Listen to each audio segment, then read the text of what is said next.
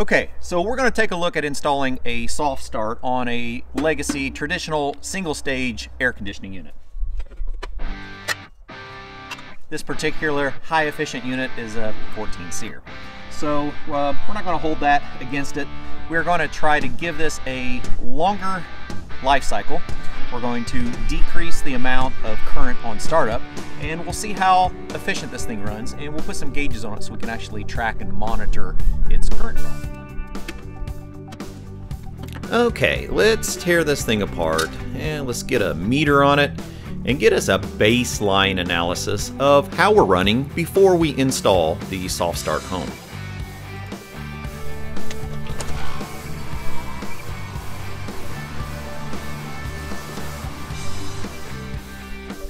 Okay, in our kit we're going to find some basic installation instructions, a bunch of connectors. Let's find a good location for it. I'm pretty particular about my installs, and I wasn't able to get it exactly vertical. I had a wiring connector coming through the back plate, so I got it in as good a location as I could, but still provided access to the entire electrical panel. Made sure that there was no refrigerant tubing behind our back panel, so we have a good clean place to attach this thing. The instructions refer you to go to softstarthome.com and select your brand so that you get equipment specific wiring, which is really cool. So you want to make sure to go there and check that out so that you get the exact application. And let's bundle things up really nice so we got a good clean install.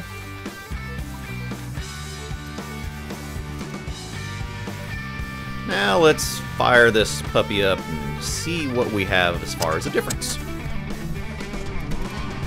The soft start does give a slight delay to the compressor after the condenser fan motor, and a noticeable change in the tone of the starting of the compressor.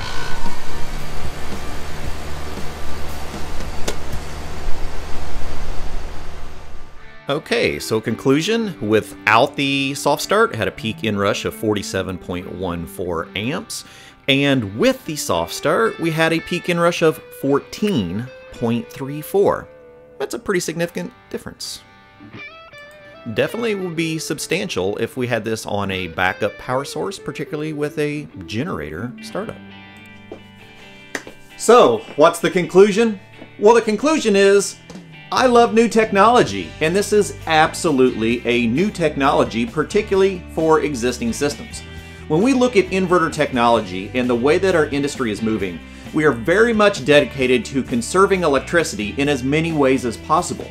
All of our new inverters are doing soft start style technology to be able to stage the compressor and our motors in, instead of slamming them on all at once and creating a high inrush of current. So any opportunity we have to reduce the amount of inrush current on a motor, whether it is a motor moving air or a motor that's moving a vapor pump inside of a compressor, I am all for that. So you can see by our current draw, a very significant drop in the inrush of current, which means I can now use a simple component to be able to change the operation of a piece of equipment, to be able to allow that to be maybe started on a generator, or at least reduce the inrush of current on our electrical grid. And that is really what it's all about. So, do I like the soft start? Yeah, absolutely. Soft start technology is the way to go. And uh, I look forward to seeing the longevity of this piece of equipment to see how it survives over the long haul. I really like the idea that we're not just adding an additional capacitor onto our run capacitor.